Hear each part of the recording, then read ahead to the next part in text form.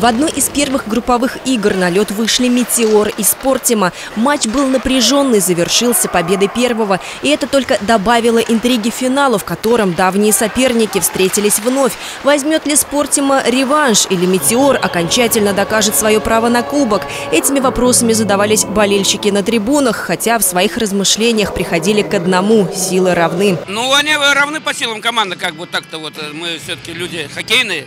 Так что тут кто чью сторону весы перетянут. То, что игра не будет простой, стало понятно с первых секунд матча. Правда, шайба в воротах «Метеора» оказалась только в середине первого периода, но не была засчитана из-за создания помех вратарю. Уже через минуту хоккеисты «Спортимы» атаковали соперника повторно, на этот раз успешно. За считанные секунды «Метеор» отыгрался и сравнял счет 1-1. К концу первой 20-минутки обладатель Кубка вызова прошлого года забил еще одну шайбу. Как итог, на табло 2-1 в пользу «Спортимы». Есть такая тактика, не расходовать энергию, силы и, удерживать просто счет.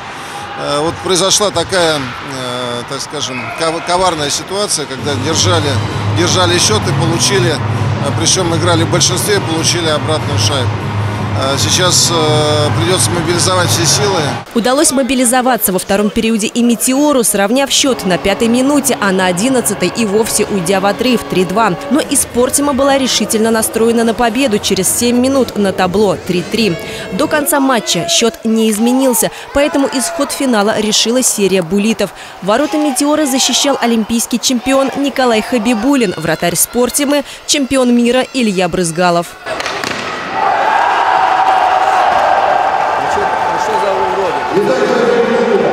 По результатам послематчевых бросков обладателем Кубка вызова в этом году стала команда «Спортима». Очень хорошая команда, мы с ними играли в группе, и обе команды были достойны победы, но Булиты – это лотерея, нам чуть повезло больше. При такой хорошей игре вратаря, э, который, при вратарей, которые держали всех э, в игре, э, голы приходили с такой тяжестью и в силовой и такой жесткой борьбе. Поэтому пра- практически равные команды.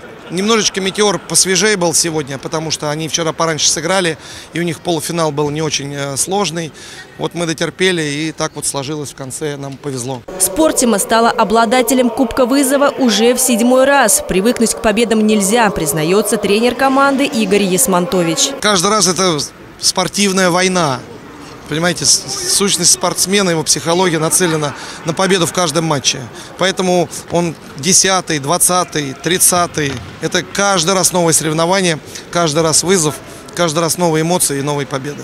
Поэтому кто станет обладателем Кубка вызова, покажет время. Следующий турнир, который будет уже 14 по счету, пройдет в Одинцово ровно через год.